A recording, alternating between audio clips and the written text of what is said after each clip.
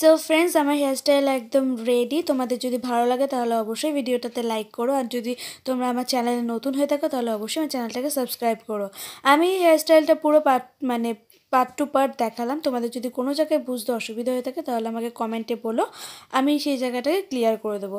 আর এটা আমি হোলি ফটোশ্যুট বলে এই ধরনের ফুল ইউজ করেছি। তোমরা যদি বিয়েবাড়িতে ট্রাই করো, তাহলে গোলাপ বা রজনীগন্ধা ইউজ করতে পারো। And thank you for watching my videos আজকের ভিডিও এইটুকুই। বাই